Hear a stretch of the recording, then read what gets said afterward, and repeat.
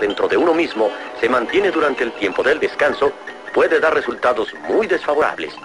Puede destruir el reposo, interrumpir los procesos normales de regeneración del organismo y aún peor, puede desencadenar la pesadilla de las enfermedades psicosomáticas, lo que significa enfermedades inducidas en el cuerpo por la mente. Si las arterias del estómago permanecen contraídas a causa del permanente estado de alarma, la capa más interior de la pared del estómago carecerá de oxígeno las células se desintegran, dejando la segunda capa sin protección, y entonces el ácido contenido en el estómago puede actuar sobre esa segunda capa.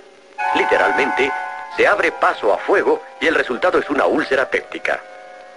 En otras áreas hay también problemas cuando el hígado, espoleado por el peligro continuo imaginario, mantiene el aporte de más y más azúcares y el torrente sanguíneo.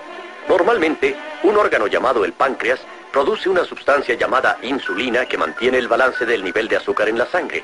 Sin embargo, después de un periodo largo, el páncreas pierde la carrera, lo cual resulta en que queda mucho azúcar en la sangre. Se trastorna así la química del cuerpo y eso puede contribuir para que sea el huésped de otros males. Es infinita la lista de torturas que podemos infringir en nosotros mismos y todas ellas tienen el mismo fin. Todos los lados de la salud pueden trastornarse seriamente si de continuo se despierta el temor innecesariamente. Pero si a este instinto se le permite descansar cuando no hay peligro real, el organismo puede funcionar como debe.